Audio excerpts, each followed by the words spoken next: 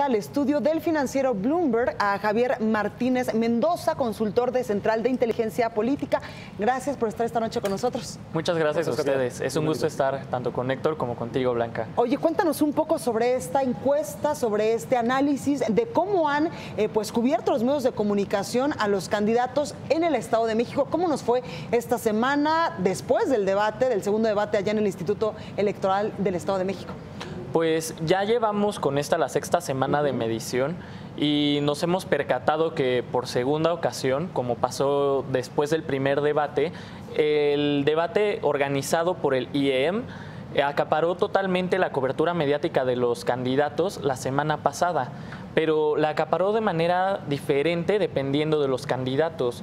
Por ejemplo, para Delfina representó solamente el 19% de su cobertura, aunque era su principal tema, ya que a ella la persiguen muchos otros temas a lo largo de la campaña. Uno de ellos es la demanda que hizo el PAN en su contra por el desvío de 36 millones de pesos.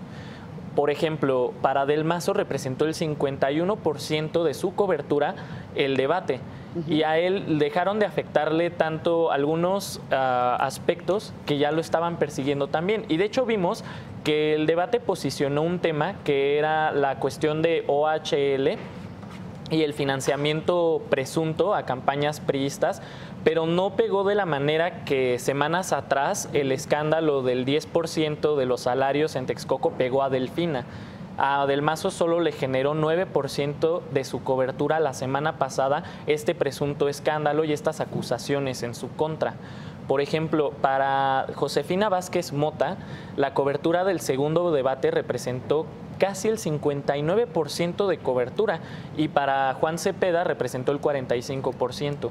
Toda esta cobertura fue neutra debido a que, pues como muchos analistas eh, concluyeron, el debate no tuvo jugo que se exprimiera, no generó ni posicionó temas nuevos y no se pudo hablar de un candidato ganador definitivo, salvo que cada uno de ellos, por supuesto, se posicionó a sí mismo como el ganador. Oye, eh, Javier, solamente tengo una pregunta. ¿Qué tanto le ha ayudado a la candidata de Morena, Delfina, la presencia de Andrés Manuel López Obrador? Le ha ayudado bastante, ya que constantemente el tema de Andrés Manuel la acompaña en su cobertura. Asimismo, le genera impactos positivos como cuando decidió Andrés Manuel seguir en campaña a pesar de las amenazas en su contra.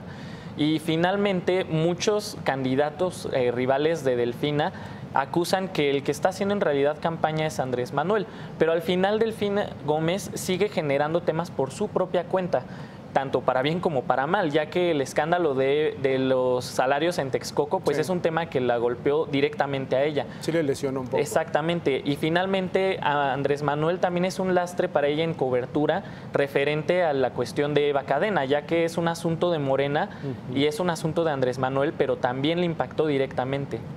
Javier, Josefina Vázquez Mota, la candidata del Partido Acción Nacional. ¿Cómo ha cambiado la cobertura que le damos los medios de comunicación en estas seis últimas semanas que ustedes han hecho esta medición puntual semana con semana? Porque entendemos que en un principio pues iba en segundo lugar, en tercer lugar después y ahora va en el cuarto lugar. ¿Cómo ha cambiado la cobertura? Nos ha sorprendido hacer los análisis con Josefina porque al principio en las encuestas ella estaba posicionada con un 33% de ventaja antes de que empezara la campaña. Y asimismo en nuestros primeros análisis ella era la puntera en cobertura también, sobre todo por el escándalo de Juntos Podemos. Sin embargo, en esta semana, que coincidió con encuestas que ya la ubican incluso en un cuarto lugar en preferencias, también ya encontramos que Juan Cepeda la desplazó en cobertura. Entonces ella ya no solo está en cuarto lugar en encuestas de preferencia electoral, sino que ya también está en cuarto lugar en el estudio ARMA de cobertura mediática. Así que encontramos una fuerte correlación entre eh, la cobertura que le dan los medios a los candidatos y su rendimiento en campaña, porque caso contrario, Delfina Gómez es la candidato de, al Estado de México que tiene constantemente mayor cobertura mediática desde hace tres semanas. Y eso eh, de forma, de forma coincidente en los estudios de presidenciables encontramos que Andrés Manuel también es el puntero en cobertura es mediática. están haciendo campaña de la mano. Exactamente. Sí, por supuesto, pero aquí es... Eh, que Josefina no está siendo lo suficientemente atractiva para los medios, ¿es con lo que ustedes están viendo?